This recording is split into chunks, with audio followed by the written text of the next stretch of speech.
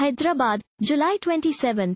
Continuing to build on an already impressive core of Indian youngsters at the club, Hyderabad FC have completed the signing of the highly rated 21-year-old attacker Ramhlunchhunga on a long-term deal, the club announced on Wednesday. The Mizo-born versatile attacker who signs from Aizawl FC, made a name for himself with Electric Veng FC in his hometown.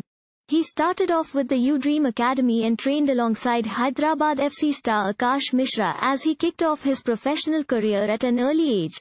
Ramhlunchhunga was also a part of the Mizoram Santosh Trophy team in the 2018-19 and 2019-20 seasons while also helping EVFC finish runners-up in the Mizoram Premier League registering 5 goals in 17 games.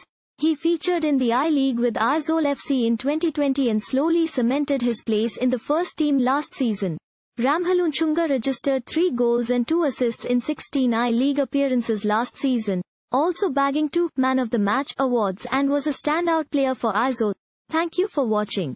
Please subscribe to channel and click on bell for more daily videos.